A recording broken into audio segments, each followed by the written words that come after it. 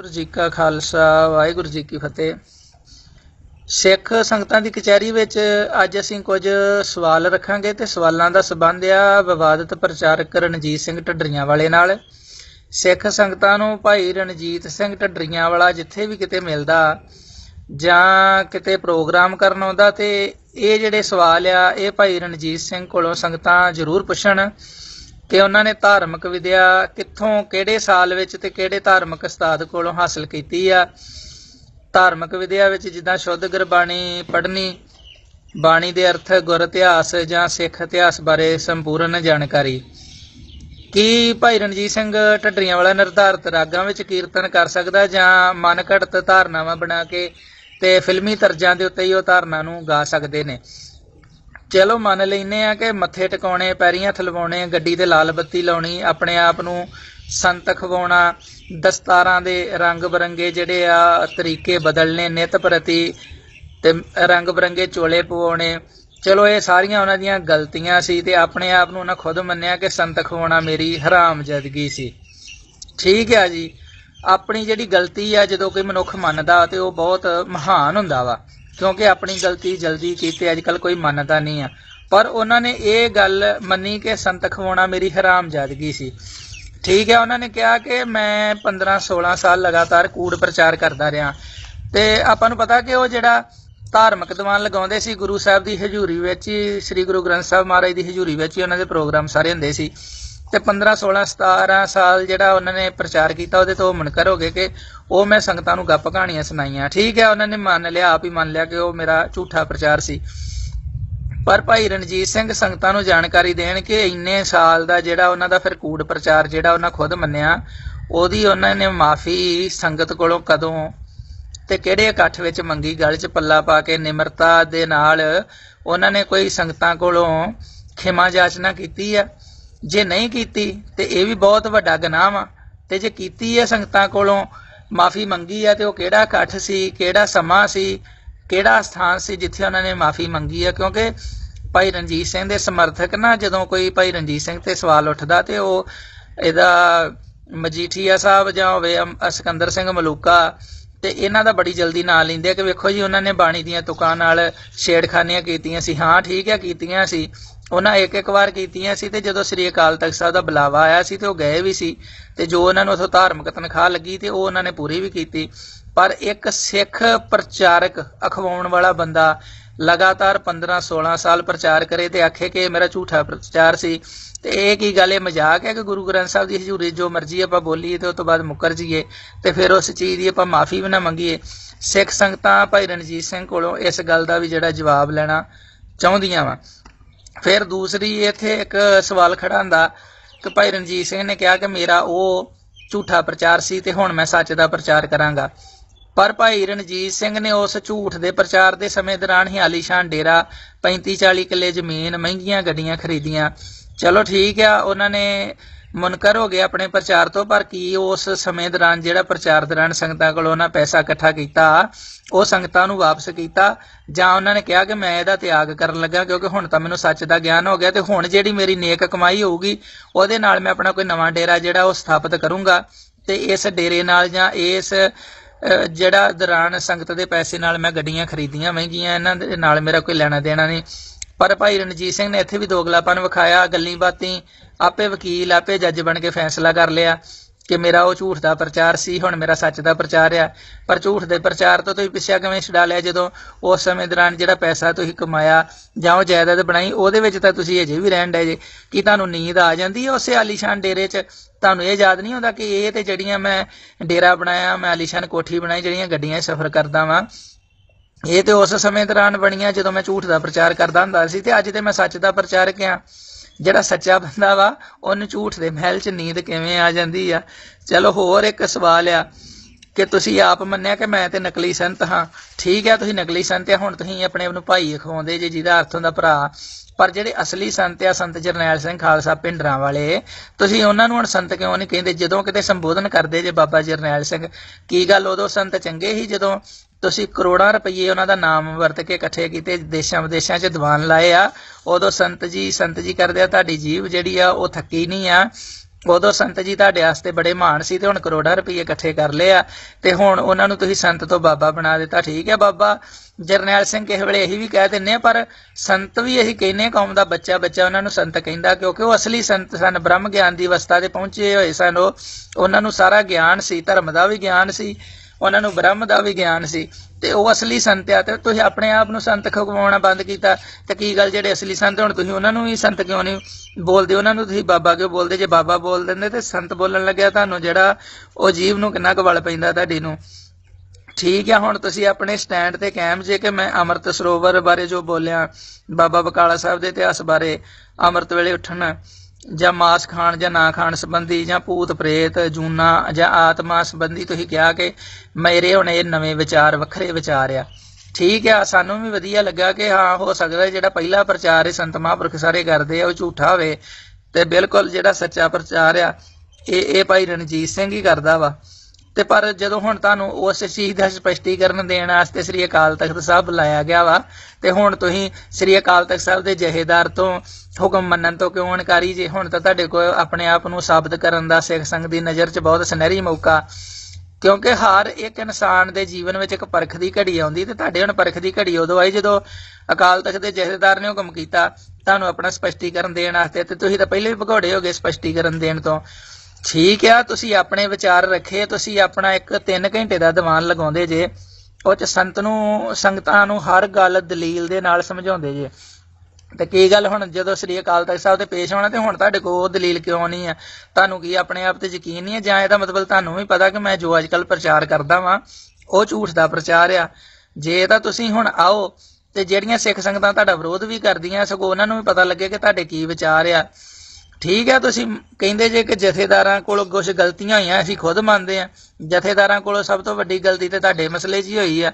ਜਦੋਂ ਜੋ ਤੁਸੀਂ ਦਮਦਮੀ ਟਕਸਾਲ ਦੇ ਮੁਖੀ ਖਿਲਾਫ ਬੋਲਣ ਲੱਗੇ ਸੀ, ਜੇ ਜਥੇਦਾਰ ਨੇ ਤੁਹਾਨੂੰ ਉਦੋਂ ਹੀ ਰੋਕਿਆ, ਟੋਕਿਆ ਹੁੰਦਾ, ਤੁਹਾਡੇ ਤੇ ਪਾਬੰਦੀ ਲਾਈ ਹੁੰਦੀ, ਤੇ ਤੁਸੀਂ ਵੀ ਚੁੱਪ ਕਰ ਜਾਂਦੇ, ਤੇ ਜਿਹੜਾ ਬਾਅਦ ਵਿੱਚ ਇੰਨਾ ਮਸਲਾ ਵਧਿਆ ਵਾ ਕਿ ਦਮਦਮੀ ਟਕਸਾਲ ਦੇ ਸਮਰਥਕਾਂ ਨੇ ਗੁੱਸੇ ਜਾ ਕੇ ਤੁਹਾਡੇ ਜਥੇ ਤੇ ਹਮਲਾ ਕੀਤਾ, ਤੇ ਉਹ ਕਿਸੇ ਦੀ ਵੀ ਗੋਲੀ ਨਾ ਚਾਹੇ ਮਰਿਆ ਭੁਪਿੰਦਰ ਸਿੰਘ ਮਰਿਆ ਵਾ ਛੋਟੇ ਛੋਟੇ ਬੱਚਿਆਂ ਦਾ ਪਿਓ ਜਿਹੜਾ ਵਾ ਉਹ ਭਰੀ ਜਵਾਨੀ 'ਚ ਦੁਨੀਆ ਤੋਂ ਚਲਾ ਗਿਆ ਵਾ। ਤੇ ਕੀ ਗੱਲ ਫਿਰ ਉਹਦਾ ਗੁਨਾਹਗਰ ਅਸੀਂ ਜਥੇਦਾਰ ਨੂੰ ਵੀ ਮੰਨਦੇ ਹਾਂ ਬਰਾਬਰ ਦਾ ਕਿ ਜੇ ਉਦੋਂ ਜਥੇਦਾਰ ਤੁਹਾਡਾ, ਤੁਹਾਡੀ ਜ਼ਬਾਨ ਤੇ ਲਗਾਮ ਲਾਈ ਹੁੰਦੀ, ਤੁਹਾਨੂੰ ਬੁਲਾ ਕੇ ਤਾੜਨਾ ਕੀਤੀ ਹੁੰਦੀ, ਤੇ ਭਾਈ ਭੁਪਿੰਦਰ ਸਿੰਘ ਦੀ ਜਾਨ ਬਚਦੀ ਤੇ ਤੁਹਾਡੀ, ਤੁਸੀਂ ਵੀ ਗੁਨਾਹਗਾਰ ਜੇ ਤੁਸੀਂ ਸੰਤ ਹਰਨਾਮ ਸਿੰਘ ਜੀ ਬਾਰੇ ਲਗਾਤਾਰ 3-4 ਸਾਲ ਜਿਹੜੇ ਅਪਸ਼ਬਦ ਬੋਲਦੇ ਰਹੇ ਜੇ, ਤੇ ਫਿਰ ਜਿਹੜਾ ਇਹਦਾ ਨਤੀਜਾ ਨਿਕਲਣਾ, ਉਹ ਮਾੜਾ ਹੀ ਨਿਕਲਣਾ ਹੈ, ਕਿਉਂਕਿ ਸਮਰਥਕਾਂ ਨੂੰ ਕਿਸੇ ਵੇਲੇ ਵੀ ਗੁੱਸਾ ਆ ਸਕਦਾ।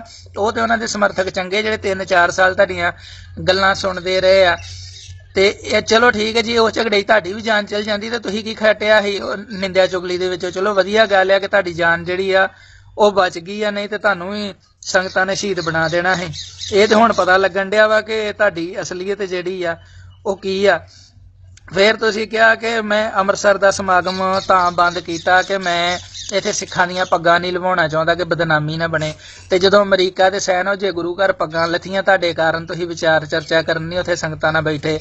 ਤੇ ਤੁਹਾਡੇ ਸਮਰਥਕਾਂ ਨੇ ਪੁਲਿਸ ਵੀ ਬੁਲਾ ਲਈ ਤੇ ਜਿਹੜੀ ਸਿੱਖ ਸੰਗਤ ਵਿਰੋਧ ਕਰਨ ਲਈ ਸੀ, ਸ਼ਾਂਤਮਈ ਢੰਗ ਨਾਲ ਸਤਨਾਮ ਵੈਗਰੂ ਕਰਕੇ ਤੇ ਉਹਨਾਂ ਦੀਆਂ ਪੱਗਾਂ ਤੁਸੀਂ ਲਵਾਈਆਂ। ਤੇ ਉਹਦਾ ਜਿਹੜਾ ਮਜ਼ਾਕ ਤੇ ਤਮਾਸ਼ਾ ਸਾਰੀ ਦੁਨੀਆ 'ਚ ਬਣਿਆ। ਤੇ ਕੀ ਗੱਲ, ਉਦੋਂ ਤੁਹਾਡੀ ਸਿਆਣਪ ਕਿੱਥੇ ਗਈ ਸੀ? ਜੇ ਸਿਰਫ 2-3 ਮਹੀਨੇ ਪੁਰਾਣੀ ਗੱਲ ਆ। ਤੇ ਉਦੋਂ ਵੀ ਜੇ ਤੁਸੀਂ ਸਿਆਣਪ ਵਰਤੀ ਹੁੰਦੀ ਤੇ ਜਿਹੜਾ ਸਿੱਖਾਂ ਦਾ ਜਲੂਸ ਦੁਨੀਆ ਨੇ ਵੇਖਿਆ ਵਾ, ਉਹ ਨਾ ਨਿਕਲਦਾ। ਹੁਣ ਅੰਮ੍ਰਿਤਸਰ ਪਤਾ ਸੀ ਵੀ ਤੁਹਾਨੂੰ ਤੁਹਾਡੀ ਦਾਲ ਨਹੀਂ ਗਲਣੀ। ਹੁਣ ਇੱਥੇ ਪ੍ਰਸ਼ਾਸਨ ਵੀ ਤੁਹਾਡੇ ਪ੍ਰੋਗਰਾਮ ਤੇ ਪਾਬੰਦੀ ਲਾ ਸਕਦਾ ਤੇ ਤੁਹਾਡੇ ਹੱਕ 'ਚ ਉਹਨੇ ਚੇਲੇ ਨਹੀਂ ਆ, ਜਿੰਨੇ ਤੁਹਾਡੇ ਵਿਰੋਧ 'ਚ ਸਿੱਖ ਸੰਗਤ ਖਲੋਤੀ ਆ। ਤੇ ਉਹ ਸਾਬਤ ਵੀ ਹੋ ਗਿਆ ਜਿੱਦਣ ਤੁਹਾਡੇ ਹੱਕ 'ਚ ਰੋਸ ਪ੍ਰਦਰਸ਼ਨ ਸੀ ਕਿ ਪ੍ਰੋਗਰਾਮ ਕਿਉਂ ਰੱਦ ਹੋਏ ਤੇ 50 ਬੰਦੇ ਇਕੱਠੇ ਨਹੀਂ ਹੋਏ। ਤੇ ਕੀ ਗੱਲ ਉਹ ਗੱਲ ਸਾਬਤ ਨਹੀਂ ਹੋਈ ਕਿ ਵਾਕਿਆ ਹੀ ਇਹ ਜਿਹੜਾ ਭਾਈ ਰਣਜੀਤ ਸਿੰਘ ਸੱਚਾ ਹੁੰਦਾ ਤੇ ਹੁਮ ਮਾ ਕੇ 10 20000 ਬੰਦਾ ਤੇ ਇਕੱਠਾ ਹੁੰਦਾ ਹੀ ਕਿ ਭਾਈ ਰਣਜੀਤ ਸਿੰਘ ਦੇ ਸਮਾਗਮ ਕਿਉਂ ਰੋਕੇ ਜਾਂ ਬਾਬਾ ਰਣਜੀਤ ਸਿੰਘ ਨੂੰ ਇੱਥੇ ਜ਼ਰੂਰ ਆਉਣਾ ਚਾਹੀਦਾ।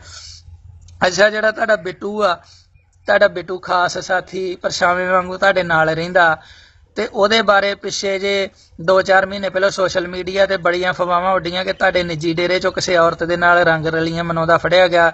ਅਸੀਂ ਨਹੀਂ ਕਹਿੰਦੇ ਕਿ ਬਿੱਟੂ ਗਲਤ ਹੈ, ਹੋ ਸਕਦਾ ਬਿੱਟੂ ਸਹੀ ਹੋਵੇ। ਪਰ ਜਦੋਂ ਤੁਸੀਂ ਨਿੱਕੀ ਨਿੱਕੀ ਗੱਲ ਤੇ ਇੱਕ ਇੱਕ ਘੰਟਾ ਸੰਗਤਾਂ ਨੂੰ ਸਪਸ਼ਟੀਕਰਨ ਦਿੰਦੇ ਜੇ, ਵੀਡੀਓ ਬਣਾ ਬਣਾ ਕੇ ਸੋਸ਼ਲ ਮੀਡੀਆ ਤੇ ਪਾਉਂਦੇ ਜੇ, ਤੇ ਕੀ ਗੱਲ ਬਿੱਟੂ ਦੇ ਮਾਮਲੇ 'ਚ ਤੁਹਾਡੀ ਇੰਨੀ ਸੰਗਤਾਂ ਨੇ ਲਾਪਾ ਕੀਤੀ ਹੈ ਤੇ ਤੁਸੀਂ ਬਿੱਟੂ ਬਾਰੇ ਆਪਣੀ ਜ਼ੁਬਾਨ ਤੋਂ ਇੱਕ ਸ਼ਬਦ ਵੀ ਬੋਲਣਾ ਕਿਉਂ ਨਹੀਂ ਜ਼ਰੂਰੀ ਸਮਝਿਆ? ਅੱਛਾ, ਉਹ ਤੇ ਸੰਗਤਾਂ ਡੀਕਦੀਆਂ ਰਹੀਆਂ, ਤੁਸੀਂ ਕੁਝ ਬੋਲਿਆ ਨਹੀਂ, ਪਰ ਬਿੱਟੂ ਫੇਰ ਹੁਣ ਵਾਪਸ ਆ ਗਿਆ ਤੇ ਹੁਣ ਸੰਗਤਾਂ ਦੇ ਮਨਾਂ 'ਚ ਆ ਵੀ ਇਹ ਬਿੱਟੂ ਨੇ ਗਲਤ ਕੰਮ ਕੀਤਾ ਹੈ ਤੇ ਡੇਰੇ 'ਚੋਂ ਕੱਢਿਆ ਸੀ ਤੇ ਹੁਣ ਇਹਨੂੰ ਫੇਰ ਵਾਪਸ ਕਿਹੜੀਆਂ ਸ਼ਰਤਾਂ ਬਣਾ ਕੇ ਲਿਆਂਦਾ, ਕੀ ਹੁਣ ਉਹ ਬਿੱਟੂ ਸੁਧਰ ਗਿਆ ਵਾ? ਜੇ ਉਦੋਂ ਉਹ ਕਾਮ ਉਹਦੇ 'ਚ ਇੰਨਾ ਵਧਿਆ ਸੀ ਜੋ ਕਿਸੇ ਵੀ ਔਰਤ ਦੀ ਇੱਜ਼ਤ ਨਾਲ ਖਿਲਵਾੜ ਕਰ ਸਕਦਾ ਹੈ ਤੇ ਹੁਣ ਕੀ ਗਰੰਟੀ ਕਿ ਅੱਗੇ ਤੋਂ ਬਿੱਟੂ ਉਹ ਕੰਮ ਜਿਹੜਾ ਤੁਹਾਡੇ ਡੇਰੇ 'ਚ ਨਹੀਂ ਕਰੂਗਾ? ਤੇ ਕੀ ਗੱਲ ਜੇ ਬਿੱਟੂ ਬਿਲਕੁਲ ਸਹੀ ਹੀ, ਉਹ ਕਿਤੇ ਆਪਣੇ ਕੰਮ ਗਿਆ ਸੀ, ਉਹ ਆਪਣੇ ਕਿਸੇ ਰਿਸ਼ਤੇਦਾਰਾਂ ਨੂੰ ਮਿਲਣ ਗਿਆ ਸੀ, ਉਹ ਕਿਸੇ ਆਪਣੇ ਕੰਮ 'ਚ ਬਿਜ਼ੀ ਤੇ ਤੁਸੀਂ ਸੰਗਤਾਂ ਨੂੰ ਕਿਉਂ ਦੱਸਿਆ ਕਿ ਤੁਸੀਂ ਬਿੱਟੂ ਬਾਰੇ ਗਲਤ ਨਾ ਬੋਲੋ? ਬਿੱਟੂ ਤੇ ਫਲਾਣੀ ਜਗ੍ਹਾ ਤੇ ਮੌਜੂਦ ਆਪਣਾ ਕੰਮਕਾਰ ਕਰਨ ਡਿਆ। ਇਹਦਾ ਮਤਲਬ ਦਾਲ 'ਚ ਕੁਝ ਕਾਲਾ ਹੀ ਨਾ ਤੇ ਜਿਹੜਾ ਤੁਸੀਂ ਚੁੱਪ ਕੀਤੇ ਰਹੇ ਜੇ ਤੇ ਫੇਰ ਹੁਣ ਤੁਸੀਂ ਆਪਣੇ ਆਪ 'ਚ ਸੱਚੇ ਹੋਣ ਵਾਸਤੇ ਬਿੱਟੂ ਨੂੰ ਵਾਪਸ ਲੈਂਦਾ ਕਿ ਜਦੋਂ ਬਿੱਟੂ ਨੂੰ ਸਾਹਮਣੇ ਲੋਕੀ ਵੇਖਣਗੇ ਤੇ ਕਹਿ ਦੇਣਗੇ ਲੈ ਬਿੱਟੂ ਤੇ ਫੇਰ ਆ ਗਿਆ ਵਾ ਤੇ ਬਿੱਟੂ ਤੇ ਕਿਤੇ ਗਾਇਬ ਹੀ ਨਹੀਂ ਆ। ਪਰ ਉਹ ਤੇ ਸਗੋਂ ਬਿੱਟੂ ਨੂੰ ਬੁਲਾ ਕੇ ਤੁਸੀਂ ਦੂਰੀ ਬਿਪਤਾ 'ਚ ਫਸ ਗਏ ਜੇ। ਪਹਿਲਾਂ ਵੀ ਨਹੀਂ ਬਿੱਟੂ ਬਾਰੇ ਤੁਸੀਂ ਕੁਝ ਬੋਲੇ ਤੇ ਹੁਣ ਵੀ ਨਹੀਂ ਬੋਲੇ, ਤੁਸੀਂ ਕੋਈ ਸਪਸ਼ਟੀਕਰਨ ਨਹੀਂ ਦਿੱਤਾ। ਤੇ ਅੱਛਾ ਬਿੱਟੂ ਕਾਂਡ ਦਾ ਜਦੋਂ ਰੌਲਾ ਪਿਆ ਸੀ ਉਸ ਤੋਂ ਹਫ਼ਤਾ ਕੁ ਬਾਅਦ ਤੁਸੀਂ ਗੁਰੂ ਸਾਹਿਬ ਦੀ ਹਜ਼ੂਰੀ ਵਿੱਚ ਗਰੇਵਾਲ ਬਾਰੇ ਝੂਠ ਕਿਉਂ ਬਾਲਿਆ, ਬੋਲਿਆ? ਕਮਰ ਗਰੇਵਾਲ ਬਾਰੇ ਤੁਸੀਂ ਸਪਸ਼ਟ ਕਿਹਾ ਕਿ ਉਹ ਮੈਨੂੰ ਮਿਲਣ ਵਾਸਤੇ ਫੋਨ ਕਰਦਾ ਤੇ ਪਰ ਮੈਂ ਹੁਣ ਉਹਨੂੰ ਮਿਲਣਾ ਜ਼ਰੂਰੀ ਨਹੀਂ ਸਮਝਿਆ ਕਿਉਂਕਿ ਉਹ ਸਰਸੇ ਵਾਲੇ ਦੇ ਡੇਰੇ ਤੇ ਚਲ ਗਿਆ, ਪਖੰਡੀ ਦੇ ਡੇਰੇ ਤੇ। ਚਲੋ ਠੀਕ ਆ। ਤੇ ਜਦੋਂ ਗਰੇਵਾਲ ਨੂੰ ਪਤਾ ਲੱਗਾ ਤੇ ਉਹਨੇ ਵੀਡੀਓ ਨਹੀਂ ਪਾਈ, ਜਿਹਦੇ 'ਚ ਤੁਹਾਨੂੰ ਕਿਹਾ ਕਿ ਮੈਂ ਤੇ ਢੱਡਰੀਆਂ ਵਾਲੇ ਨੂੰ ਕਦੀ ਫੋਨ ਨਹੀਂ ਕੀਤਾ, ਮੇਰੇ ਕੋਲ ਤੇ ਢੱਡਰੀਆਂ ਵਾਲੇ ਬਾਬੇ ਦਾ ਫੋਨ ਨੰਬਰ ਨਹੀਂ ਹੈਗਾ। ਸਤਿਕਾਰ ਮੈਂ ਜ਼ਰੂਰ ਕਰਦਾ ਉਹਦਾ, ਪਰ ਮੈਂ ਉਹਨੂੰ ਕਦੀ ਫੋਨ ਨਹੀਂ ਕੀਤਾ ਮਿਲਣ ਵਾਸਤੇ। ਤੇ ਉਹ ਬਿਲਕੁਲ ਤੁਸੀਂ ਝੂਠੇ ਸਾਬਤ ਨਹੀਂ ਹੋਏ, ਤੇ ਤੁਸੀਂ ਗੁਰੂ ਸਾਹਿਬ ਦੀ ਹਜ਼ੂਰੀ 'ਚ ਝੂਠ ਬੋਲ ਕੇ ਕੀ ਸਾਬਤ ਕਰਨਾ ਚਾਹੁੰਦੇ ਸੀ? ਚਲੋ ਪਹਿਲਾਂ ਤੇ ਤੁਸੀਂ 15 ਸਾਲ 16 ਸਾਲ ਬੋਲਿਆ ਕਿ ਝੂਠ ਹੀ ਮੇਰੀ ਗੱਲ ਜੇ ਹੁਣ ਤੁਸੀਂ ਸੱਚ ਦਾ ਪ੍ਰਚਾਰਕ ਮੰਨਣ ਡੇ ਜੇ ਆਪਣੇ ਆਪ ਨੂੰ, ਤੇ ਹੁਣ ਵੀ ਤੁਸੀਂ ਝੂਠ ਬੋਲਣੋਂ ਨਹੀਂ ਟਲਦੇ। ਤੇ ਇਹ ਸਿੱਖ ਸੰਗਤਾਂ ਕਿਵੇਂ ਯਕੀਨ ਕਰਨ ਕਿ ਤੁਸੀਂ ਵਾਕਿਆ ਹੁਣ ਵੀ ਸੱਚੇ ਹੀ ਬੋਲਦੇ ਜੇ? ਤੇ ਫਿਰ ਤੁਸੀਂ ਆਪੇ ਕਹਿ ਦਿੰਦੇ ਜੇ ਜੀਓ ਤੇ ਜਿਉਣ ਦਿਓ ਤੇ ਟਕਸਾਲ ਮੁਖੀ ਦਾ ਕੋਈ ਬਿਆਨ ਵਿਖਾਓ ਹਾਂ ਜਿੱਥੇ ਉਹਨੇ ਤੁਹਾਡੀ ਨਿੰਦਿਆ ਕੀਤੀ ਹੋਵੇ ਕਦੀ ਵੀ ਵਿਖਾਓ। ਤੇ ਤੁਸੀਂ ਹਰ ਦੀਵਾਨ 'ਚ ਹੀ ਅੱਧਾ ਅੱਧਾ ਘੰਟਾ ਇੱਕ ਇੱਕ ਘੰਟਾ ਟਕਸਾਲ ਮੁਖੀ ਬਾਰੇ ਨਿੰਦਿਆ ਕਰਦਿਆਂ ਨਹੀਂ ਲੰਘਾਉਂਦੇ। ਇਹਦਾ ਕੀ ਕਾਰਨ ਆ? ਇੱਕ ਬੰਦਾ ਤੁਹਾਡੇ ਖਿਲਾਫ ਕੋਈ ਬੋਲਦਾ ਨਹੀਂ ਆ। ਤੁਸੀਂ ਆਪੇ ਹੀ ਕਹਿ ਦਿੰਦੇ ਆ, ਮੈਂ ਰੱਜੀ ਪੁੱਜੀ ਆਬੇ ਮੇਰੇ ਬੱਚੇ ਜੀਣ। ਆਪੇ ਤੁਸੀਂ ਕਹਿੰਦੇ ਜੀਓ ਤੇ ਜੀਣ ਦਿਓ ਤੇ ਸਾਨੂੰ ਆਪਣਾ ਪ੍ਰਚਾਰ ਕਰਨ ਦਿਓ, ਤੁਸੀਂ ਆਪਣਾ ਪ੍ਰਚਾਰ ਕਰੋ ਤੇ ਤੁਸੀਂ ਟਕਸਾਲ ਮੁਖੀ ਦੇ ਖਿਲਾਫ ਬੋਲਣੋਂ ਕਿਉਂ ਨਹੀਂ ਹਟਦੇ? ਇਹ ਇਹਦਾ ਵੀ ਸੰਗਤਾਂ ਤੁਹਾਡੇ ਕੋਲੋਂ ਜਿਹੜਾ ਉਹ ਜਵਾਬ ਮੰਗਦੀਆਂ। ਤੇ ਹੁਣ ਕੀ ਗੱਲ ਜਦੋਂ ਪਰਖ ਦੀ ਘੜੀ ਤੁਹਾਡੇ ਜੀਵਨ ਚ ਆ ਗਈ, ਹੁਣ ਸਾਡੇ ਵਰਗੇ ਜਿਹੜੇ ਲੋਕ ਆ, ਚਲੋ ਤੁਹਾਡੇ ਵਿਚਾਰਕ ਵਿਰੋਧੀ ਵੀ ਆ ਅਸੀਂ, ਪਰ ਅਸੀਂ ਵੀ ਹੋ ਸਕਦਾ ਤੁਹਾਡੇ ਸਮਰਥਕ ਹੋ ਜਾਂਦੇ ਕਿ ਤੁਸੀਂ ਸ੍ਰੀ ਅਕਾਲ ਤਖਤ ਸਾਹਿਬ ਤੇ ਆ ਕੇ ਜਦੋਂ ਵਿਚਾਰ ਕਰਦੇ ਆਪਣੀ, ਪਰ ਤੁਸੀਂ ਤੇ ਵਿਚਾਰ ਕਰਨ ਤੋਂ ਪਹਿਲਾਂ ਹੀ ਭਗੌੜੇ ਹੋ ਗਏ ਜੇ। ਜੇ ਸ੍ਰੀ ਅਕਾਲ ਤਖਤ ਸਾਹਿਬ ਦਾ ਜਹੇਦਾਰ ਗਲਤ ਆ, ਤੇ ਤੁਸੀਂ ਤੇ ਉਹਦੇ ਤੋਂ ਦੁੱਗਣੇ ਗਲਤ ਹੋਏ। ਤੁਸੀਂ ਆਪਣੇ ਡੇਰੇ 'ਚ ਬੈਠੇ ਬਿਆਨ ਦੇਈ ਜਾਂਦੇ, ਤੁਸੀਂ ਸ੍ਰੀ ਅਕਾਲ ਤਖਤ ਸਾਹਿਬ ਤੇ ਆਓ, ਸੋਸ਼ਲ ਮੀਡੀਆ ਦਾ ਜ਼ਮਾਨਾ ਵਾ, ਲਾਈਵ ਟੈਲੀਕਾਸਟ ਹੋਊਗਾ ਜਿਹੜੀ ਤੁਹਾਡੀ ਵਿਚਾਰ ਚਰਚਾ ਹੋਊਗੀ। ਜਿੱਥੇ ਤੁਸੀਂ ਸਹੀ ਜੇ, ਉੱਥੇ ਤੁਸੀਂ ਸਹੀ ਜੇ। ਜਿੱਥੇ ਉਹ ਗਲਤ ਆ, ਤੁਸੀਂ ਉਹਨਾਂ ਨੂੰ ਗਲਤ ਸਾਬਤ ਕਰੋ। ਤੁਸੀਂ ਤੇ ਸ੍ਰੀ ਅਕਾਲ ਤਖਤ ਸਾਹਿਬ ਦੀ ਸਰਵਉੱਚਤਾ ਨੂੰ ਚੈਲੰਜ ਕਰਨ ਡਏ ਜੇ। ਅੱਛਾ, ਜਿਹੜਾ ਅੱਜ ਤੁਹਾਡੇ ਕੋਲ ਆਲੀਸ਼ਾਨ ਡੇਰਾ ਵਾ, ਇੰਨੀ ਜ਼ਮੀਨ ਆ, ਗੱਡੀਆਂ, ਇਹ ਕਿੰਨੇ ਦਿੱਤੀਆਂ? ਇਹ ਤੁਹਾਨੂੰ ਦਿੱਤੀਆਂ ਸਿੱਖ ਸੰਗਤ ਨੇ। ਸਿੱਖ ਸੰਗਤ ਦੀ ਮਾਇਆ ਨਾਲ ਤੁਸੀਂ ਇਹ ਚੀਜ਼ਾਂ ਖਰੀਦੀਆਂ ਜਾਂ ਬਣਾਈਆਂ। ਇਹ ਤੁਹਾਨੂੰ ਜਿਹੜੇ ਇਹ ਡੇਰੇ ਆਲੀਸ਼ਾਨ ਆ, ਇਹ ਨੇਕੀ ਨਿਊਜ਼ੀਲੈਂਡ ਵਾਲੇ ਨੇ, ਦਰਸ਼ਨ ਰਾਗੀ ਘੱਗੇ ਤੇ ਦਲਗੀਰ ਨੇ ਨਹੀਂ ਦਿੱਤੇ। ਉਹ ਤੇ ਪੰਥ ਚੋਂ ਛੇਕੇ ਹੋਏ ਬੰਦੇ ਸਿੱਖ ਸੰਗਤ, ਉਹਨਾਂ ਨੂੰ ਮੂੰਹ ਨਹੀਂ ਲਾਉਂਦੀ, ਉਹਨਾਂ ਨੂੰ ਤੇ ਲਾਹਨਤਾਂ ਪਾਉਂਦੇ ਆ। ਤੇ ਅੱਜ ਤੁਸੀਂ ਉਹਨਾਂ ਦੇ ਨਾਲ ਯਾਰੀਆਂ ਨਿਭਾਉਣ ਡਏ ਜੇ। ਤੇ ਜਿਹੜੀਆਂ ਸਿੱਖ ਸੰਗਤਾਂ ਜਿਹੜਾ ਦੂਜੀਆਂ ਪੰਥਕ ਜਥੇਬੰਦੀਆਂ ਦਾ ਵੀ ਸਤਿਕਾਰ ਕਰਦੀਆਂ ਵਾ, ਜਾਂ ਸਿੱਖ ਸੰਗਤਾਂ ਨੂੰ ਛੱਡ ਕੇ ਤੇ ਤੁਸੀਂ ਅੱਜ ਗੁਰੂ ਨਿੰਦਕਾਂ ਦੇ ਵ- ਵੱਲ ਜਿਹੜਾ ਉਹ ਮੂੰਹ ਕੀਤਾ ਤੇ ਪੰਥ ਵੱਲ ਤੁਸੀਂ ਪਿੱਠ ਕਰਕੇ ਖਲੋਤੇ ਜੇ, ਇਹ ਗੱਲਾਂ ਤੁਹਾਡੇ ਹੱਥ ਕਿਤੇ ਚੰਗੀਆਂ ਤੁਸੀਂ ਇਹ ਸੋਚ ਕੇ ਵੇਖੋ। ਤੇ ਜਿਹੜਾ ਤੁਸੀਂ ਕਹਿੰਦੇ ਜੇ ਕਿ ਮੀਡੀਆ ਹੁਣ ਮੇਰੀ ਬੜੀ ਗੱਲ ਕਰਨ ਡਿਆ ਤੇ ਇਹ ਮੀਡੀਆ ਉਹ ਸਰਸੇ ਵਾਲੇ ਪਖੰਡੀ ਦੀ ਬੜੀ ਗੱਲ ਕਰਦਾ ਹੁੰਦਾ ਸੀ, ਉਹਨੂੰ ਪਿਤਾ ਜੀ ਪਿਤਾ ਜੀ ਕਹਿੰਦਾ ਸੀ ਕਦੀ ਕਹਿੰਦੇ ਹੁੰਦੇ ਸੀ ਉਹਨੇ ਖੂਨਦਾਨ ਕੈਂਪ ਲਵਾਤਾ, ਇਹ ਤੇ ਬੜਾ ਮਹਾਨ ਆ, ਇਹਨੇ ਕੁੜੀਆਂ ਦੇ ਵਿਆਹ ਕਰਾਤੇ ਆ, ਇਹ ਬੜਾ ਮਹਾਨ ਆ। ਪਰ ਪਤਾ ਨਾ ਜਦੋਂ ਪੰਚਕੂਲੇ ਹਿੰਸਾ ਹੋਈ ਸੀ ਤੇ ਉਹ ਜਲੂਸ ਮੀਡੀਆ ਨੇ ਸਰਸੇ ਵਾਲੇ ਦਾ ਕੱਢਿਆ ਸੀ ਤੇ ਉਹ ਤੁਸੀਂ ਵੀ ਆਪਣੀ ਅੱਖੀਂ ਵੇਖਿਆ ਹੋਊਗਾ ਕਿੰਨਾ ਜਲੂਸ ਉਹਦਾ ਕੱਢਿਆ ਤੇ ਉਹਨੂੰ ਪਖੰਡੀ ਤੇ ਪਤਾ ਨਹੀਂ ਬਲਾਤਕਾਰੀ ਕੀ ਕੀ ਕੁਛ ਕਿਹਾ। ਇਹ ਮੀਡੀਆ ਕਿਸੇ ਦਾ ਸਕਾ ਨਹੀਂ ਆ। ਮੀਡੀਆ 'ਚ 5-6 ਦਿਨ ਛਾਏ ਰਹਿਣ ਕਰਕੇ ਤੇ ਤੁਸੀਂ ਕੋਈ ਮਹਾਨ ਵਿਦਵਾਨ ਜਾਂ ਸੱਚੇ ਨਹੀਂ ਬਣ ਜਾਣਾ। ਸੱਚੇ ਸਾਹਿਬ ਤਾਂ ਅਖੀਰ 'ਚ ਤੁਸੀਂ ਸੰਗਤ ਦੀ ਕਚਹਿਰੀ 'ਚ ਹੋਣਾ ਵਾ। ਮੀਡੀਆ ਦਾ ਕੀ? ਮੀਡੀਆ ਤੇ 2-4 ਦਿਨ ਗੁਣ ਗਾਊ। ਜੇ ਮੀਡੀਆ ਸਿੱਖਾਂ ਪ੍ਰਤੀ ਇੰਨਾ ਹੀ ਸਹਿਰਦਿਆ ਤੇ ਉਹ ਸਿੱਖਾਂ ਦੇ ਦੂਜੇ ਮਸਲਿਆਂ ਬਾਰੇ ਕਿਉਂ ਨਹੀਂ ਬੋਲਦਾ? ਠੀਕ ਹੈ ਕਿ ਨਹੀਂ? ਤੇ ਇਹ ਸਗੋਂ ਮੀ- ਜਿਹੜਾ ਮੀਡੀਆ ਵਾ ਨੇ ਤੁਹਾਡਾ ਮਸਲਾ ਉਲਝਾਉਣਾ ਵਾ। ਇਹ ਜਿਹੜੇ ਅੱਜ ਤੁਹਾਨੂੰ ਫੋਕੀ ਸ਼ਾਬਾਸ਼ ਦੇਣ ਦਾ ਨਾ, ਜਿਹੜੇ ਤੁਹਾਨੂੰ ਹੱਲਾਸ਼ੇਰੀ ਦੇਣ ਦਾ ਕਿ ਸ੍ਰੀ ਅਕਾਲ ਤਖਤ ਸਾਹਿਬ ਤੇ ਪੇਸ਼ ਨਾ ਹੋ, ਇਹ ਤੁਹਾਡੇ ਹਮਦਰਦ ਨਹੀਂ ਆ। ਇਹ ਤੁਹਾਡੇ ਦੁਸ਼ਮਣ ਆ। ਜਦੋਂ ਤੁਹਾਨੂੰ ਪੰਥ ਚੋਂ ਹੁਣ ਛੇਕਤਾ ਤੁਸੀਂ ਇੱਥੇ ਨਹੀਂ ਨਾ ਆਉਣਾ, ਤੇ ਸਿੱਖ ਸੰਗਤਾਂ ਨੇ ਕਿਹੇ ਨੇ ਤੁਹਾਡੇ ਵੱਲ ਨਹੀਂ ਆਉਣਾ, ਹੁਣ ਭਾਵੇਂ ਜਿੰਨੇ ਮਰਜ਼ੀ ਬੋਲੀ ਜਾਂਦੇ ਆ। ਜੇ ਅੰਮ੍ਰਿਤਸਰ ਤੁਹਾਨੂੰ ਲੋਕੀ ਕਹਿੰਦੇ ਅਸੀਂ ਆਵਾਂਗੇ ਤੇ 40 50 ਇੱਥੇ ਆਏ ਆ, ਤੇ ਇਹੋ ਹਾਲ ਤੁਹਾਡਾ ਬਾਅਦ ਚ ਵੀ ਹੋਣਾ ਤੇ ਜੇ ਸ੍ਰੀ ਅਕਾਲ ਤਖਤ ਸਾਹਿਬ ਦਾ ਜਹੇਦਾਰ ਗਲਤ ਆ, ਤੇ ਉਹਨੂੰ ਹੁਣ ਮੌਕਾ ਵਾ ਗਲਤ ਸਾਬਤ ਕਰੋ। ਜਦੋਂ ਤੁਹਾਨੂੰ ਪੰਥ ਚੋਂ ਛੇਕਿਆ ਗਿਆ ਤੇ ਫਿਰ ਤੁਸੀਂ ਰੋਣਾ ਧੋਣਾ ਕਿ ਮੈਂ ਵੇਖੋ ਜੀ ਸੱਚ ਦਾ ਪ੍ਰਚਾਰ ਕਰਦਾ ਹਾਂ ਤੇ ਮੈਨੂੰ ਇਹਨਾਂ ਨੇ ਪੰਥ ਚੋਂ ਛੇਕ ਦਿੱਤਾ ਵਾ। ਤੇ ਫਿਰ ਤੇ ਸਮੂਹ ਸਿੱਖ ਸੰਗਤਾਂ ਵੀ ਹੁਣ ਮੰਗ ਕਰਨ ਡਈਆਂ ਕਿ ਢੱਡਰੀਆਂ ਵਾਲੇ ਕੋ ਨਿਊਜ਼ ਚੈਨਲਾਂ ਨੂੰ ਇੰਟਰਵਿਊ ਦੇਣ ਦਾ ਵੀਡੀਓ ਬਣਾਉਣ ਦਾ ਟਾਈਮ ਹੈਗਾ ਵਾ। ਤੇ ਇਹ ਸ੍ਰੀ ਅਕਾਲ ਤਖਤ ਸਾਹਿਬ ਤੇ ਪੇਸ਼ ਕਿਉਂ ਨਹੀਂ ਹੁੰਦਾ? ਜੇ ਸੱਚਾ। ਵੇਖੋ ਜਿਹੜਾ ਸੱਚਾ ਬੰਦਾ ਵਾ ਉਹ ਤਾਂ ਸ਼ਹੀਦ ਵੀ ਹੋ ਜਾਂਦਾ ਧਰਮ ਵਾਸਤੇ ਡਰਦਾ ਨਹੀਂ ਹੈ ਤੇ ਤੁਸੀਂ ਤੇ ਸਿਰਫ ਵਿਚਾਰ ਚਰਚਾ ਕਰਨਾ ਅ, ਵਾਸਤੇ ਆਉਣਾ ਤੇ ਤੁਸੀਂ ਪਹਿਲਾਂ ਹੀ ਡਰੀ ਜਾਂਦੇ ਜੇ। ਤੇ ਤੁਸੀਂ ਆਪਣੇ ਆਪ ਨੂੰ ਗੁਰੂ ਨਾਨਕ ਸਾਹਿਬ ਦੇ ਘਰ ਦਾ ਸੱਚਾ ਸੁੱਚਾ ਪ੍ਰਚਾਰਕ ਮੰਨਦੇ ਜੇ ਤੇ ਫਿਰ ਗੁਰੂ ਨਾਨਕ ਸਾਹਿਬ ਨੇ ਤੇ ਭੈ ਕਿਸੇ ਚੀਜ਼ ਦਾ ਰੱਖਿਆ ਹੀ ਨਹੀਂ ਤੇ ਤੁਸੀਂ ਕਿਉਂ ਡਰਨ ਡੇ ਜੇ?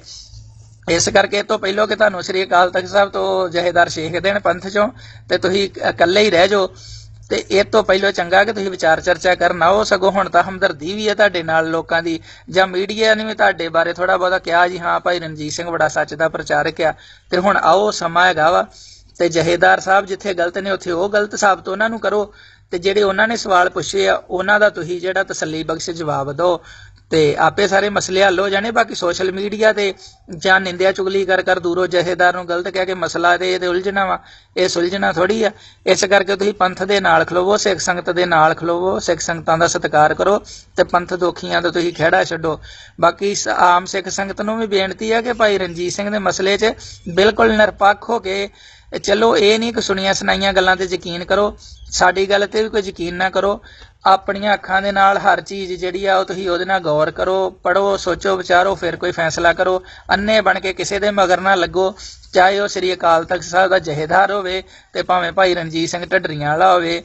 ਬਾਕੀ ਸਾਡੇ ਕੋਲੋਂ ਵਿਚਾਰ ਕਰਦੇ ਆ ਕੋਈ ਗਲਤੀ ਭੁੱਲ ਚੁੱਕ ਹੋ ਗਈ ਹੋਵੇ ਤੇ ਅਣਜਾਣ ਬੱਚੇ ਸਮਝ ਕੇ ਖਿਮਾ ਕਰਨਾ। ਵਾਹਿਗੁਰੂ ਜੀ ਕਾ ਖਾਲਸਾ, ਵਾਹਿਗੁਰੂ ਜੀ ਕੀ ਫਤਿਹ।